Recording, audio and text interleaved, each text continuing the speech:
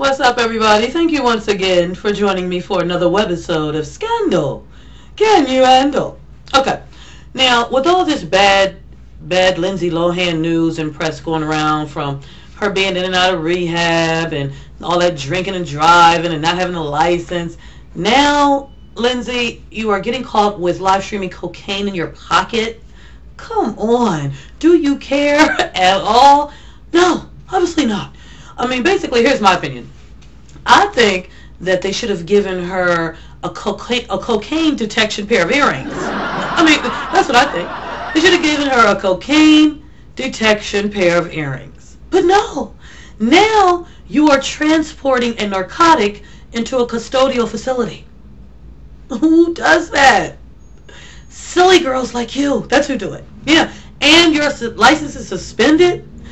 Come on, girl. What is going on? So TMZ.com reported you guys that Lindsay is now saying that she wasn't the driver when she was doing the cheap stunt in the parking lot. You know, endangering other people's lives while drinking. Um, she's saying that she wasn't the driver behind the wheel. Okay, we'll see. Whatever. I just want to know, to me, I wonder if this is the typical child star story. Because it's a shame really is. I mean, basically, like, do you have to be a drunk crackhead to fit in Hollywood these days? Because that's what it looks like. I mean, stupid is, is as stupid does. Basically, that wrapped up in a nutshell. But, um, you guys, you know that the movie comes out tomorrow. Uh, what's the name? Uh, I Know Who Killed Me. what a title, right? We'll see how it does. Lindsay, put it down. I keep on trying to tell that to these people. They don't want to listen. They just don't. Now, ring the alarm. Ring the alarm. That's what you do. TMZ.com reported that Beyonce has fallen down the steps. That's what she done done. I'm sure you guys have already seen the video. It's been all over the TV, right? Well, I saw the video as well. On YouTube, right? Beyonce I saw it on YouTube. Uh, basically, she pleaded to her fans not to upload this footage on YouTube. Please don't, please don't. But it has about, what, 10 million hits now? They were probably uploading while she was falling. You know how people do. Well, anyway, so I was looking at the video, you guys, right? And I was thinking what caused the fall, because people were just saying, what do you think caused the fall? What do you think caused the fall? Um, was, did she slip or whatever? I think that that hair weave caused the fall.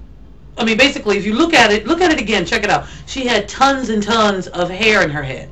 Her head looked at least 100 pounds.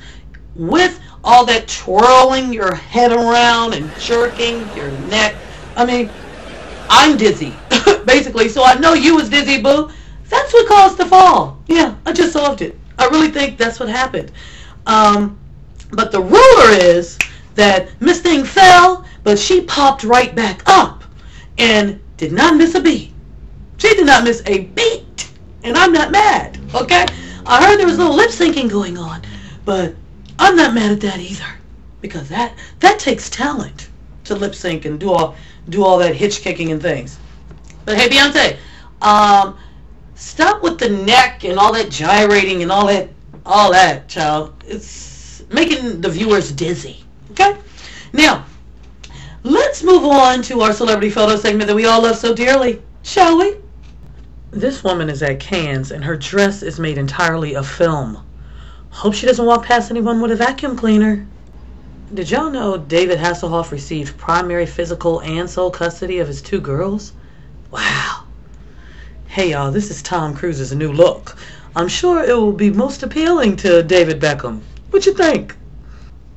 I don't draw the pictures, you guys. I just deliver them to you. you know we do. Sharing is caring. I'm Ebony Evans, and this is, and always will be, Scandal. Can you handle? Have a great weekend, you guys. See you Monday.